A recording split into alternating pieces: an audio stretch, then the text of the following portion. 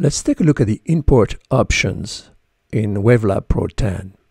If we click on the file browser on the upper left corner here, you can navigate different hard drive or different section of your hard drives.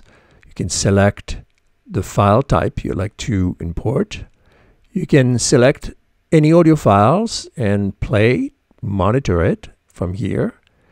You can see a graphical representation of the selected WAV file in the bottom here, and you can actually play section of it, for example, of that file to hear it.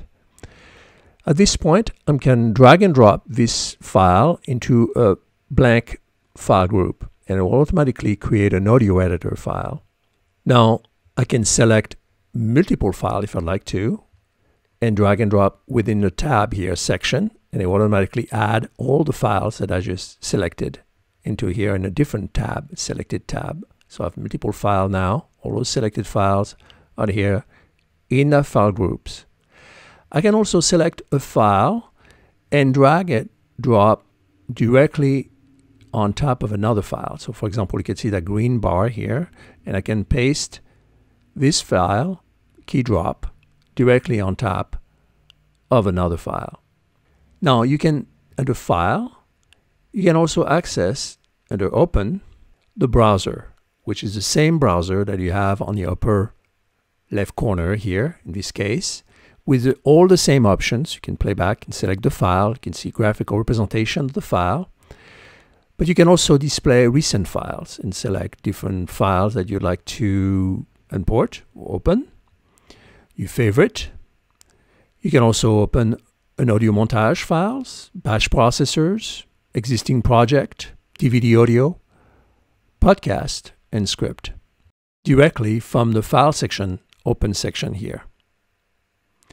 Now let's go back to the View tab where we have a file group where we have a bunch of audio editor files that we just open. In this case, I'm going to create another type audio montage, which is going to create a channel of 48K. And I can just, again, through the browser, select a bunch of file and drag and drop directly in my audio montage file group. Now in this case, I get preferences options. I can stagger files onto alternative tracks, which is a great idea. If you have a CD, for example, you'd like to uh, master and you'll have them each song on a different track. In this case, I'm going to place it on each file on a separate track. So I click OK You can see all the tracks have been inserted in a different track. Finally, under File, Import, you can import videos, DDP, CDQs, AES-31 basic audio CDs, XML files, and non-audio files addressed as audio CD. Automatically detect if you have an audio CD inserted, if you have a CD-ROM. And you can select the different tracks that you'd like to import as well as file groups directly from here.